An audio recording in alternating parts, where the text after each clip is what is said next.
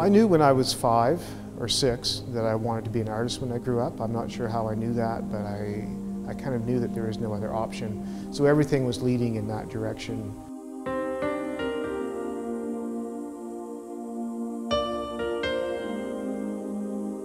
My name's Steven Dixon and I was born in New Brunswick and I'm a printmaking technician demonstrator at the University of Alberta.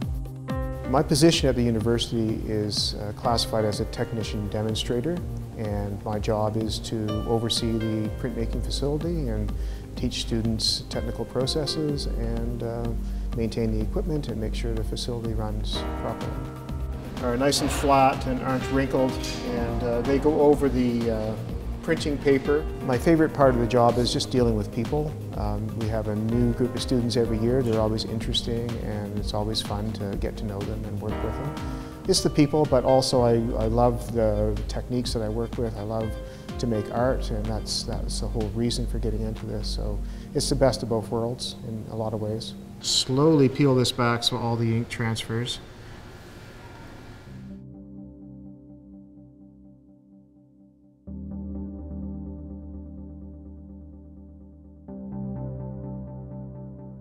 This piece behind me is a photograph of, of a gas plant in southern Alberta.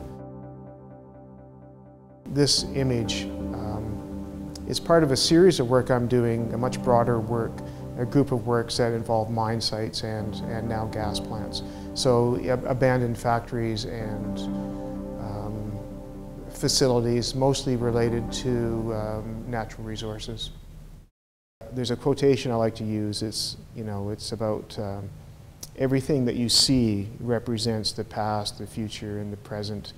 It's just how do we interpret that? So I view these as archaeological sites almost. When I look at these old factories, I, I try to understand the mindset of the people who built them, worked in them, exploited the resources, and uh, where that sits in our society today. My name is Mark Signer.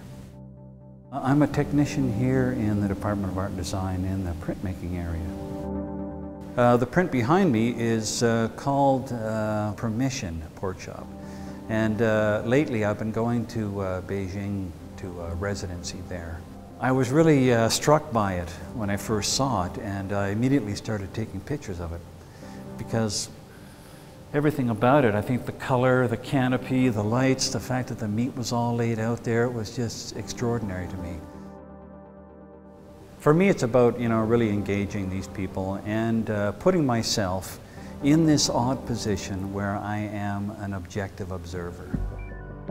Oh yeah, it's always worth doing. Um, if you, even if the work is unsuccessful totally, uh, the process is worth going through. You've learned something and even if it's what not to do.